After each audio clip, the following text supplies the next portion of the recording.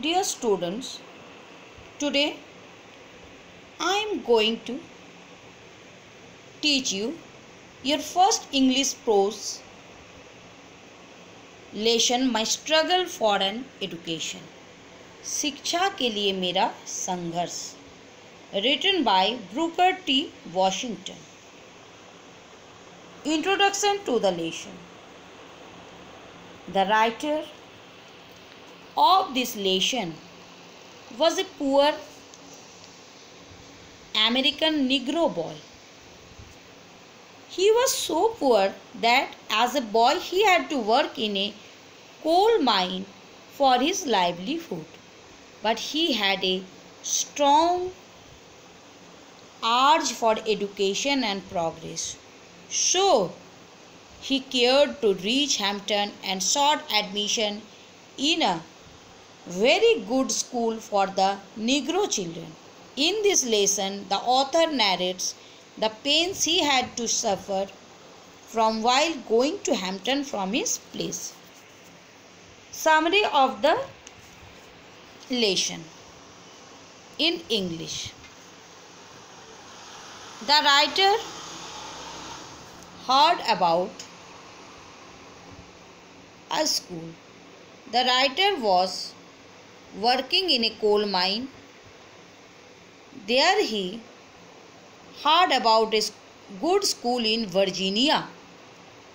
He had once desired to go to that school, though he did not know the exact location of the school in the state of Virginia.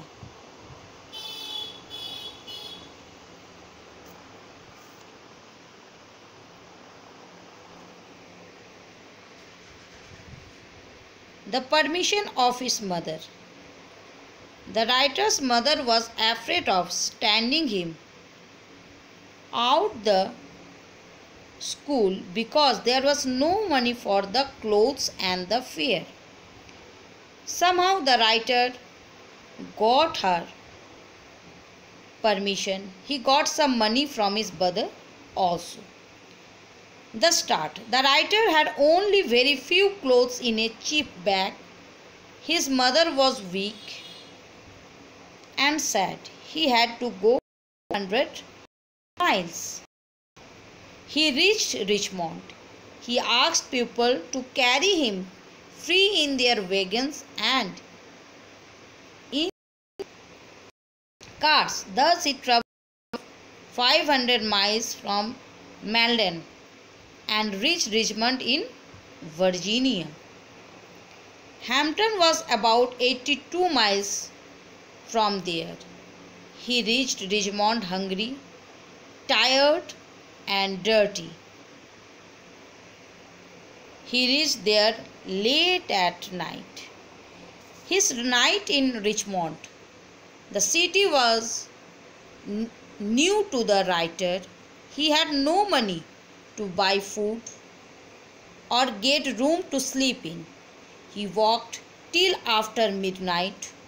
On getting tired, he crept under a sidewalk and slept there on the ground. The writer earned for food and travel.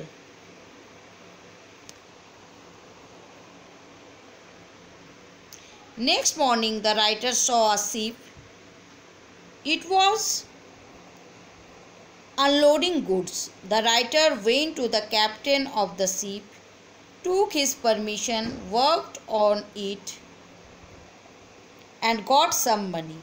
He was extremely hungry. He purchased food with the money he had earned and ate it. He worked for money days on the ship earned more money and again started for Hampton.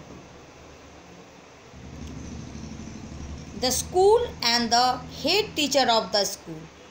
The writer reached Hampton. The school building was large. It was three storied and built of bricks. The first sight of the school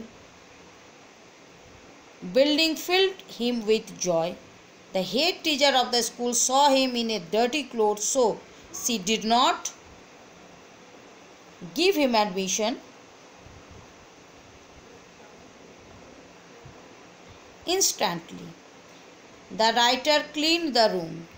The head teacher wanted to put the writer to a test.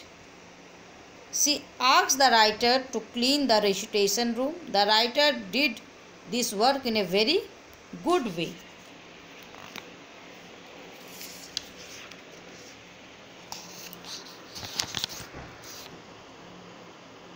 It pleased the head teacher so much that she decided to